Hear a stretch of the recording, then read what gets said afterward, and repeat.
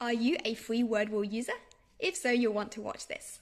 So hi, I'm Katie and I help independent online ESL teachers like you go independent, find your own students and teach online. WordWall is an amazing website for making activities like matching tasks, quizzes and games to practice vocabulary, grammar, etc.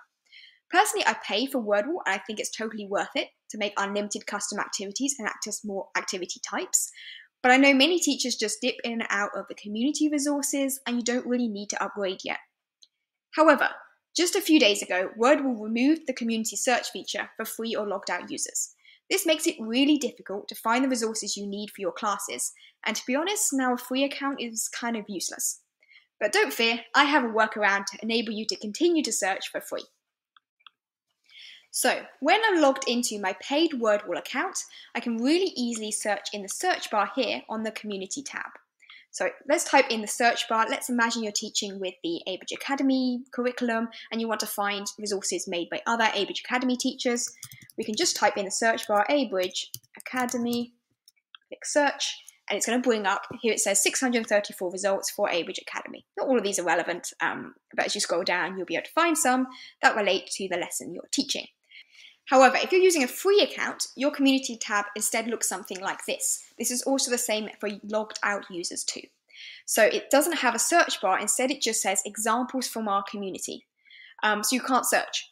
And it just has maybe 30 or so examples of random activities that are being created on different subjects by different teachers, but it's highly unlikely you're going to find something in this small number of activities that relates to the lesson you're about to teach, right?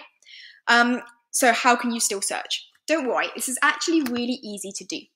All you need to do is go to the URL bar, that's the website address at the top of the page, and it's currently wordwall.net slash community. We're going to add on the end of that URL the search term. So it's now going to be wordwall.net slash community slash the term you're searching for. So let's go with Abridge Academy again.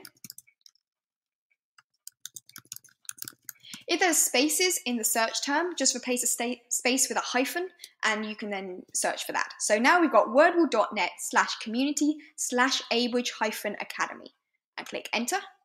And now it's going to search for Abridge Academy materials within the WordWall community. And you see it still says here 634 results. It's bringing up all of the results, even though there was no search bar for us to search in. So that was a really quick video just showing you how even as a free user you can still search on WordWall. All you need to do is change the URL to enter your search term. So I hope that helped you. If it did, don't forget to like and subscribe and I'll see you again in another video.